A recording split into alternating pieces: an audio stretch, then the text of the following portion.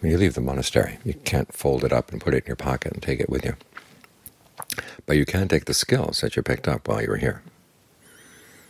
These skills that we develop as we sit here with our eyes closed, they're not just for sitting here with our eyes closed. They're for you to use at all times. Because the breath is constantly fashioning the way you experience your body. And if you don't pay it much attention, it's just going to go its own way and do all kinds of things. If you give it a little attention, you find it can help you get through lots of difficulties that you wouldn't be able to to stand otherwise. Endurance is one of the most important qualities you can develop as a meditator. It doesn't mean just gritting your teeth. It means looking for where in a given situation you can make a change for the better, and focus on that. And that helps you endure a lot of other things that you can't change.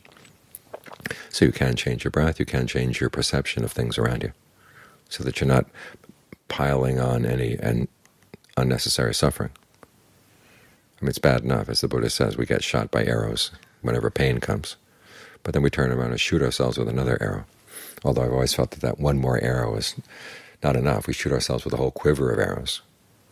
It's not just the pain of the arrow, but think about it, someone who's already shot by an arrow and then they, the effort they go through to shoot another arrow at themselves. That's going to make the first arrow even worse.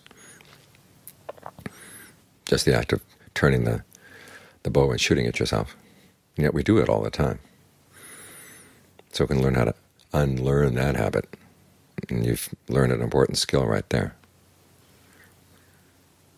Find where there is a sense of ease with the breath, and you can maintain that and allow that to spread as much as you can through the body.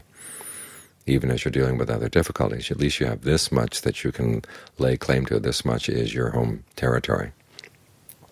Try to carry that with you wherever you go. And as the, for the perceptions that shape the mind, remember you can change the way you perceive things, the labels you apply to things. The mind has one set of labels, and doesn't necessarily mean that your habitual set of labels is the truest. It's just one that's your most habitual going to, habitually going to. But you can change that. Try to find what other true ways you could perceive the situation that's not making it such a burden on the mind.